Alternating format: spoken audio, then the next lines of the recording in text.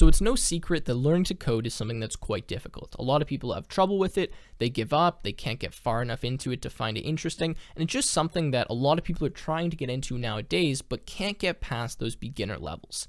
Now what I'm going to do in this video is talk to you about the top 5 beginner programming mistakes I see and how you can stop making those mistakes and continue learning to code and keep that motivation. I know it's really hard when you're getting stuck, you can't move past something, you don't know what to learn next, and you run into the mistakes that I'm going to talk about here. So if you can avoid those, you're going to become a better developer just by learning more about coding and hopefully get past some of these obstacles that maybe are holding you back. So with that being said, let's go ahead and get into the top 5 beginner programming mistakes after a quick word from our sponsor. I need to thank Simplilearn for sponsoring this video and introduce you to their full stack Java Developer Master program, which is designed for you to master both front and back end Java technologies. Simplilearn's blended learning model brings classroom learning experience online with its world class LMS. It combines instructor led training, self paced learning, and personalized mentoring to provide an immersive learning experience. With over 350 hours of in-depth training, you'll learn basic and advanced web development while using frameworks and tools like Angular, Spring Boot, Hibernate, and MVC. You'll also learn how to use JavaScript, jQuery, and Node.js to make beautiful and interactive websites.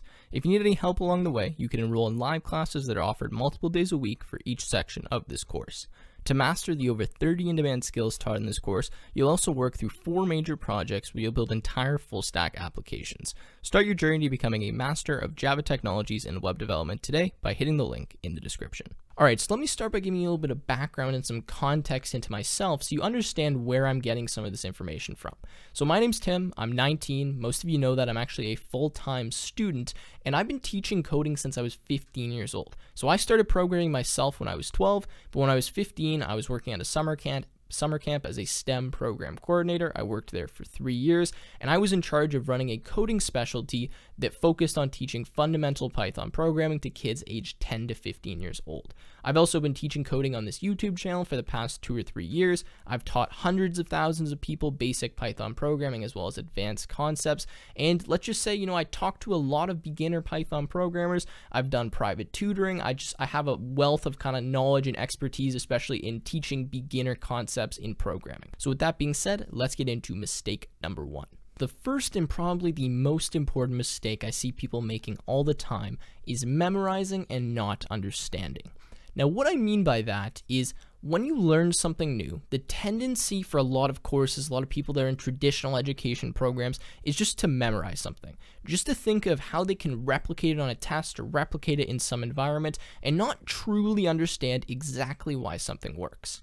Now, in programming, as you'll notice as you get more advanced into it, it really is so just conceptually important to understand exactly what you're doing and why it works, what you're doing, rather than just memorizing snippets of code and pasting things in. I see this so commonly with beginners that they'll take, for example, like say a piece of code that I wrote, right? And they'll just paste it in some random part in their program. And they know what it does, they know the input and the output, but they don't understand or have any idea why. Now, why this becomes an issue is because when something goes wrong or this code does not perform the way you expected, you have absolutely no idea how to fix it, why it works, or even what the heck is going on. So you need to, as a beginner, really be focusing on, especially as a beginner, why something works and understanding every single component to some piece of code or to some tutorial or whatever it is that you're learning before you go ahead and use that or move on. Now, it is okay sometimes to use a little piece of code if you don't fully understand why it's working, but for fundamental things like understanding a for loop, understanding if statements, prints, strings, things like that that are fundamental to a programming language, you need to understand why they work exactly and not memorize it whatsoever. Programming has absolutely zero memorization to it. What ends up happening is you will just end up memorizing those topics because you understand them so well and you've used them enough times. So a lot, a very common mistake is people try to memorize syntax. They try to memorize specific algorithms or pieces of code. You don't want to memorize something. You want to understand why it works because if you have that, you have the understanding, you can very easily replicate that in whatever way that may be, right? So really focus on understanding something and not memorizing something. That's the mistake I see so commonly, people copying pasting things, and that really just hinders your learning and doesn't let you go anywhere. So mistake number two is closely related to mistake number one, and this is do not skip the fundamentals. Or I guess the mistake version of that would be skipping the fundamentals. So the common mistake that I see is people decide to jump into the deep end before they learn how to swim. That's the analogy I like to give you. For example, jumping into machine learning after learning coding for two weeks. That is an example of skipping the fundamentals. In my opinion, it should take you a month, two, maybe three months to really nail, if you're a brand new programmer, the fundamentals of programming. And what I mean by that is understanding how to solve very basic problems, understanding for loops, ifs, you know, conditions, the basic fundamental concepts that apply in almost every programming language you need to know before you start getting into these more complex, specific domains. Now, that's my opinion, but this is a huge mistake I see and what discourages a lot of people from getting into programming. They do like a week course on Codecademy of Python. They don't really understand half of the stuff that's been taught there. They've just copied and pasted code and they're like, well, I learned the Python programming language. Let's go ahead and try to build, you know, the next Google AI, like or DeepMind or whatever it's called. No, no, no. Please do not do that. If you really want to get good at programming, if you really want to excel, and this is going to speed up your process, I guarantee you, make sure you nail the fundamentals. Like you do so much fundamental programming, solving really basic problems, working on a few mini projects on the side, making sure you understand all these concepts that are built into the standard language you're learning before you go ahead and start working with frameworks and modules and more advanced things that assume you have this understanding.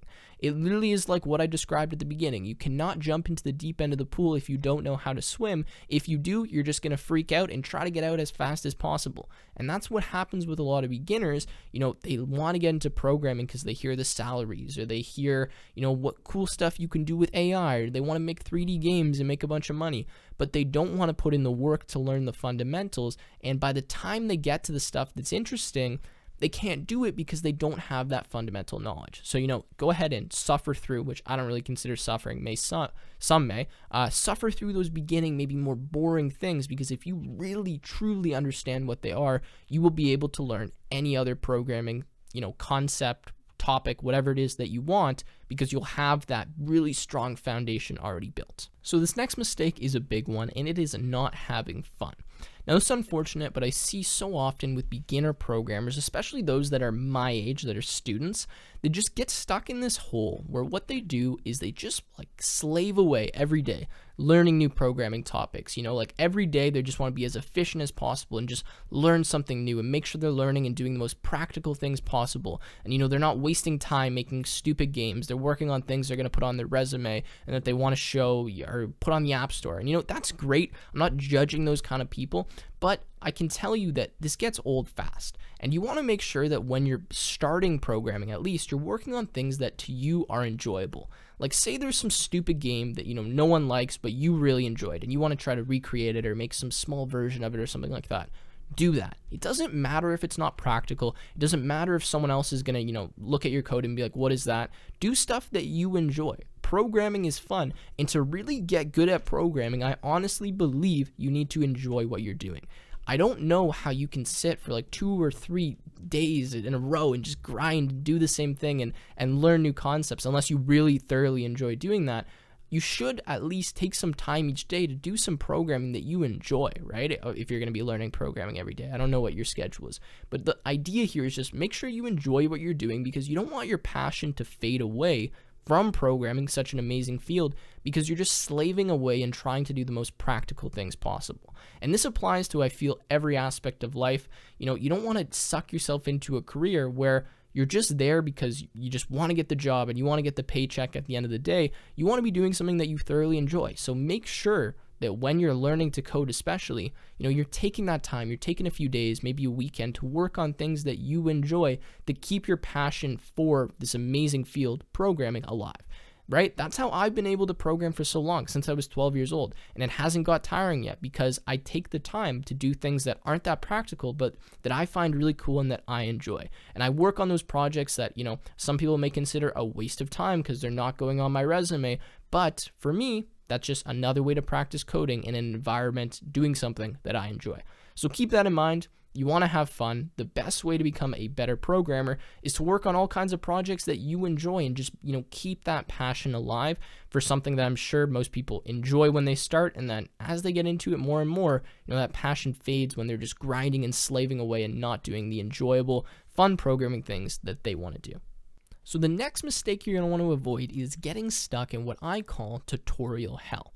Now, what I mean by this is you're someone who every day when they wake up, you know, they really want to learn coding, they're getting into it, they're a beginner, but all they do is watch tutorial coding YouTube videos or watch tutorial videos or go through a course. They don't ever do anything on their own.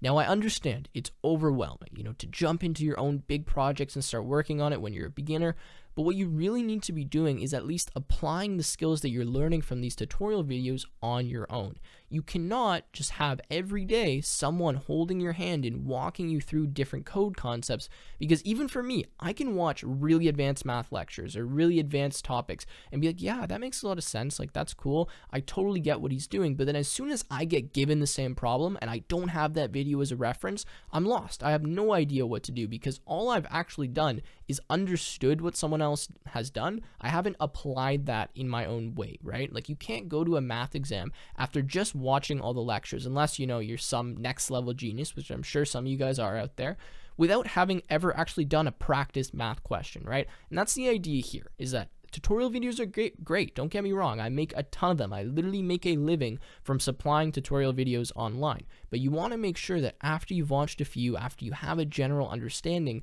you try to apply that on your own because that's when you're going to realize the gaps in your knowledge and you're going to be able to learn a lot more. You know, you self regulating yourself and saying, hey, you know, I actually don't understand how to do this. Maybe I should go back and watch it again, or maybe I should slowly reference some of these documentation pages and try to really nail this topic down by myself. That's going to help you a ton. And as a beginner, you need to make sure you're doing that. You cannot be stuck in tutorial hell where you've done six months of learning coding, but all that has been is really just watching other people code on a screen. It's a lot different when you're on your own and there's not someone holding your hand. So, this last mistake is probably the biggest reason I see people get discouraged easily or quit coding, and that is comparing yourselves to others. It is almost never fair to compare yourself and your current skill level to someone else because everyone has a different story, everyone has a different journey, everyone has different IQ levels, innate abilities. You cannot, as a programmer, especially a beginner, look at someone that's your age. Like, look at me, who's 19, for example. You cannot compare yourself to other people and say, well, he knows it. I can't figure it out. I guess I'm just not good at coding. I'm going to stop. And that's what I see so often, especially on my videos. A lot of people will comment and say, Man, you make me feel like crap because you're 19 and you're better than me and I'm 22. And I'm like, Dude, you cannot compare yourself to me. I am a very completely different person than you are. You know, not many people learn coding for fun when they're 12 years old. So please do yourself a favor and do not compare yourself to other programmers, to other people. Everyone is different. This applies to almost everything. And the last thing you want to be doing is getting discouraged because, you know, your classmate who picked up coding two months later than you is now better than you. Maybe he did more work. Maybe he's just naturally smarter, right? There's just, you cannot do that. Everyone has their different abilities, their different skill level, and you cannot let yourself get discouraged by comparing yourself to others. Chances are you're better at something than someone else. Chances are someone looks up to you for some specific reason because you are better at a specific topic. Everyone has their skills, their strengths, and their weaknesses, and the best thing you can do for yourself is be self aware and understand what level you're at and what you need to do to get better. So please do not watch other people program, not look at peers, friends, other people, and compare yourself to them. That is the easiest way to just get discouraged, get sad, get upset, and think your progress is not as good as it should be. Trust me, the best thing to do is be self aware, understand what you need to work on, and focus solely on yourself, not comparing yourself to other people. Now, obviously, there's some exceptions here, don't get me wrong, but a general rule of thumb, especially for you guys that are beginners, they probably aren't jumping into the job market just yet. That's the last thing you want to do is be comparing yourself to others, especially those that are better than you, because that's just an instant source of demotivation. And that's the last thing you need when you're starting to get into programming and really starting to get good and into the intermediate levels. So with that being said, that has been the five biggest programming mistakes I see from beginners. Do you guys agree with these mistakes? Is there any other mistakes you see from beginner programmers, maybe yourself? If you have any questions, any comments, please do leave them down below. And with that being said, that has been this video. So if you guys enjoyed, make sure you leave a like, subscribe to the channel, and I will see you guys in another YouTube video.